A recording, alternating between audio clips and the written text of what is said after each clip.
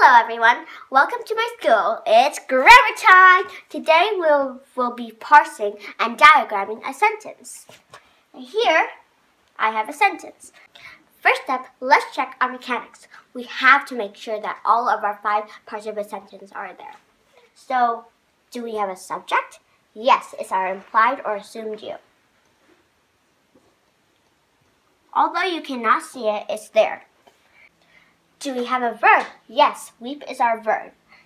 Do we have a capital letter?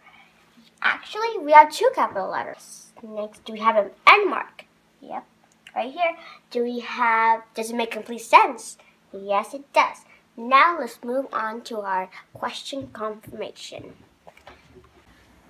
In order to find out the role of each word in a sentence, we have to ask our question confirmation.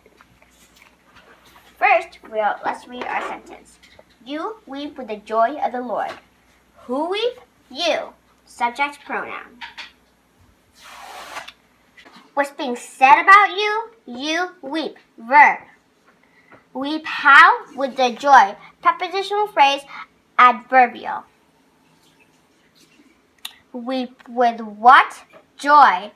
Object of the preposition. Which joy? The article adjective. Which joy? Of the Lord. Prepositional phrase adjectival. Of what? Lord. Object of the preposition. Which Lord? The article adjective. Now let's move on to our sentence classification. So let's find out what sentence structure this is. Do we have a coordinate conjunction? No, so it's not a compound. Do we have a subordinate conjunction? No, so it's not a complex.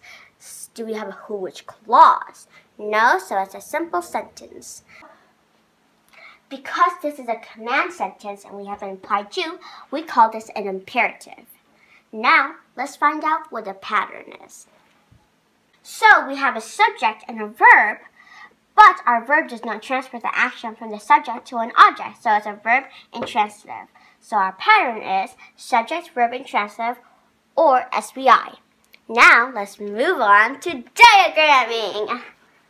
So how we diagram is we first we'll draw a horizontal line and a vertical line all the way through. And then we'll write our implied you. And Dweep is going to be over here. Then we're going to draw a diagonal line. And then we're going to put the word with. Then from here, we're going to do another line. Joy, we're going to put joy over here. And then two diagonal lines. The. And then of. Then we're going to draw another line, and then we're going to put Lord.